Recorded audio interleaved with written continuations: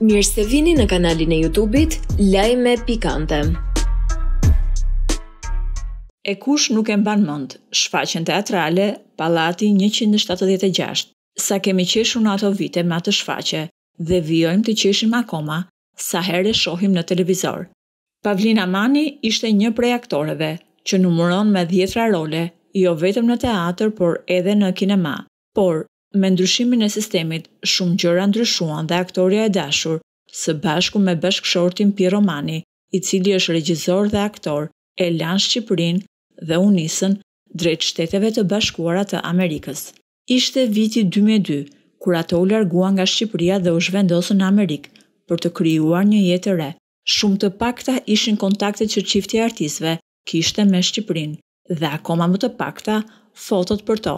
Në këto foto të rralla që janë shkrepur në Shtetet e Bashkuara, duket se sa shumë ka ndryshuar aktorja e madhe Pavlina Mani. Pamja e Pavlina Manit ka ndryshuar, por fisnikëria që përçon kjo aktore mbetet e njëjta. Në rolet që jemi mësuar ta shohim, Pavlina është tejet elegante, por me disa kilogramë më shumë, shfaqet në fotot e shkrepura në Amerikë.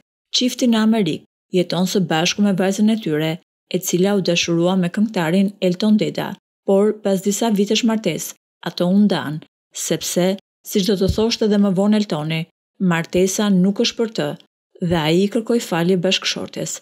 Nga martesa, i erdhi në jetë një djalë dhe me sa duket, nipi është krenaria e gjyshe Pavlinës. Në Shtetet e Bashkuara të Amerikës, Pavlina u përball me një humbje të madhe, atë të bashkëshortit Pirro Mani, por në krah të saj tashmë është vajza dhe nipi adoleshent, që mundohen ta mbështesin në çdo moment. Pavlina dhe Pirro u larguan nga Shqipëria dhe nga skena, por dashuria për skenën dhe publikun që i deshi aq shumë, i ka shoqëruar edhe në Amerikë.